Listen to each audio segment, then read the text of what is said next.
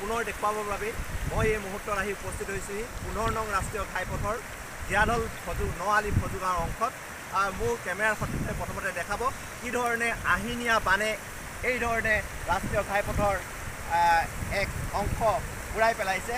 বিপদজনকভাৱে পথছোৱাৰ ওপৰেদি বাগৰি আছে জীয়াঢল নদীৰ আহ, জীয়াঢল নদীৰ যি কাংকুহুটিৰ পানী। ক'ব লাগিব যে যি সময়ত শাৰদীয় দুৰ্গোৎসৱৰ উৎসাহ উদ্দীপনাই সমগ্ৰ অসমতে আনন্দ উল্লাসৰ সৃষ্টি কৰিছে। তেনে সময়তে কিন্তু ধেমাজিত ৰাষ্ট্ৰীয় ঘাইপথৰ এই দুৰৱস্থাই শাৰদীয় দুৰ্গোৎসৱৰ উৎসাহ যেন ম্লান পেলাইছে। ক'ব লাগিব যে বিগত বাৰিষাৰ সময়ছোৱাত ৰাষ্ট্ৰীয় ঘাইপথটোৰ এই অংশ প্ৰায় জলমগ্ন হৈ থাকে আৰু জীয়াঢল ধেমাজি চকুলো যি জীয়াঢল নদী সেই জীয়াঢল নদীৰ অন্যতম উপসুতি হিচাপে পৰিচিত যি কাংকুহুটি কাংকুহুটিৰ বাঢ়নি পানীয়ে এনেদৰে জীয়াঢলৰ আহ, এই অংশত বিস্তৃত ক্ষতিসাধন কৰিছে।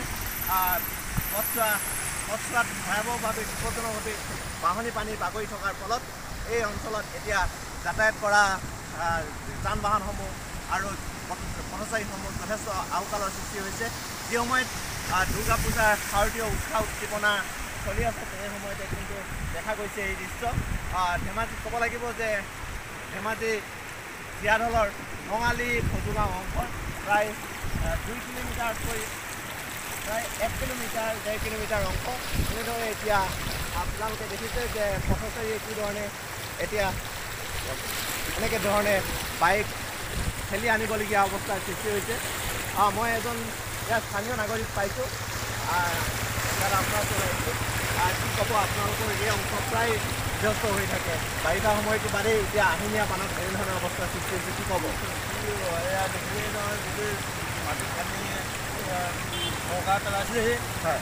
চৰকাৰ পেলাই মাটি উৰুৱাই লৈ গ'ল এতিয়া ৰাস্তা পদূলি অসুবিধা হৈছে আমি এতিয়া অহা যোৱা কৰিবলৈ এয়ে মোৰ ঘৰ হয় অৱস্থা নাই যি সময়ত পূজা চলি আছে সেই সময়ত এনে অৱস্থা অৱস্থা আছে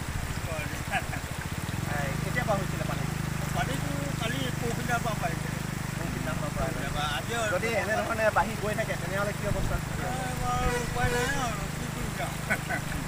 হয় হয় ক'ব লাগিব যে এনেধৰণে এতিয়া আহিয়া মানে জীয়াঢলৰ বিস্তৃত জীয়াঢলৰ যি এ, ন আলি ফজুগাঁও অংশ ৰাষ্ট্ৰীয় ঘাইপথ পোন্ধৰ নং ৰাষ্ট্ৰীয় ঘাইপথ এনেধৰণে বিপদগ্ৰস্ত কৰি তুলিছে। আৰু যি সময়ত পথচাৰীয়ে হওক নতুবা যান বাহনৰ আৰোহীসকলে হওক যথেষ্ট কষ্টৰ মাজেৰে এই অংশ পাৰাপাৰ হ'বলগীয়া হৈছে। বিপদজনকভাৱে পাৰাপাৰ হ'বলগীয়া হৈছে। আৰু এনেধৰণে যদি প্ৰতিকূল পৰিৱেশ অব্যাহত থাকে ধাৰাসাৰ বৰষুণ যদি অব্যাহত থাকে তেনেহ'লে এই অংশ আৰু অধিক জলমগ্ন হৈ পৰাৰ আশংকা আছে। আৰু এই এনেধৰণে যদি চলি থাকিবলৈ হয় তেনেহ'লে ৰাষ্ট্ৰীয় ঘাইপথটো বিস্তৃত অংশ ক্ষতিগ্ৰস্ত হোৱাৰ সম্ভাৱনা আছে।